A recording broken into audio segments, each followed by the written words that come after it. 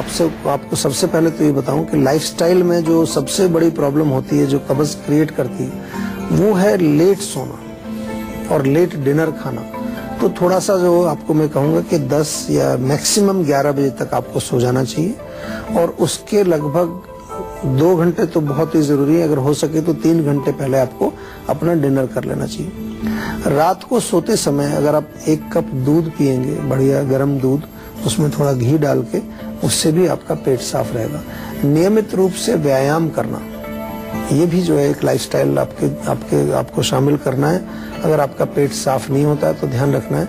नियमित रूप से आपको व्यायाम करना चाहिए।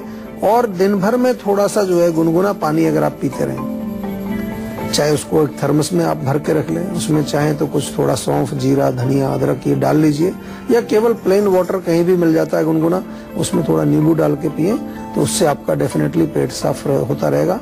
और लाइफस्टाइल में एक चीज़ और मैं बार बार आपको कहता हूँ, क्योंकि हमारा सिस्टम जो है कि रिदम इसका बना होता है। तो रिदम यानी कि दिनचर्या का पालन हमें करना चाहिए टाइम से उठना है टाइम से ब्रेकफास्ट टाइम से लंच तो ये चेंजेस अगर आप करेंगे तो आपका पेट भी साफ़ रहेगा, आपका बॉडी भी पूरा जो है रिदम में रहेगा सिस्टम आपका ठीक रहेगा।